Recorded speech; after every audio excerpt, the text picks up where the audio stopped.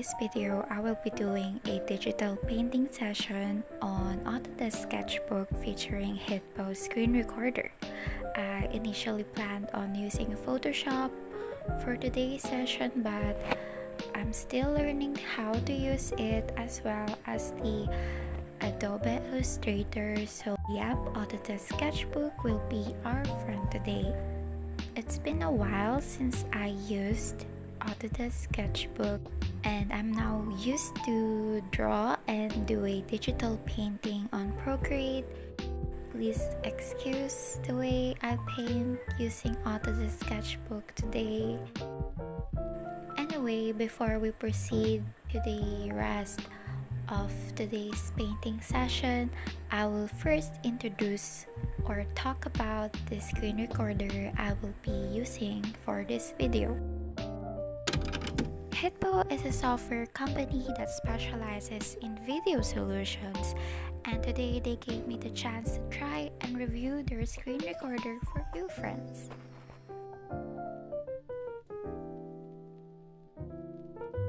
So this is the HitPaw screen recorder that has several smart screen recording features. I really think that a good screen recorder is a necessity not only for content creators but for students, professors, and working individuals. Today, now that everything is held online and in front of our screens or computers. So, what's great about this screen recorder is that it is not only about being able to record your screen, can also record yourself through your webcam. I think this is really useful for um, presentations, especially for teachers and students for online classes. And what I like about this is that it has the picture in picture option feature so as you can see here I was able to record myself and my screen at the same time while painting digitally. I find this screen recorder really great and I think if you're planning to start a channel where you record your gameplays gameplays is that how you call it? Yeah. Gameplays video tutorials of how to do digital art and you want to record yourself while talking. Uh, at the same time while showing the viewers what you were talking about or what you were painting.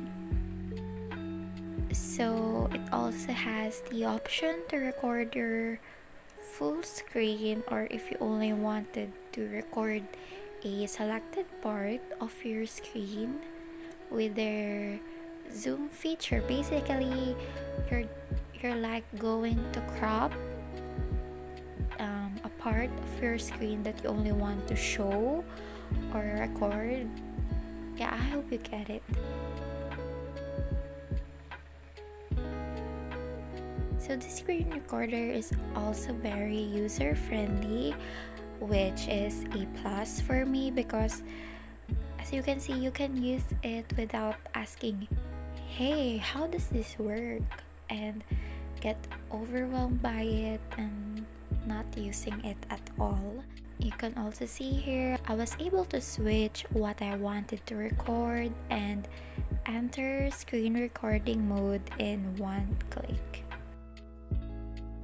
so yeah, if you're interested to get and use this HitPaw screen recorder, the links are below. You can also get this at a discount using the code provided in the description. Thank you again to HitPaw for sponsoring this video.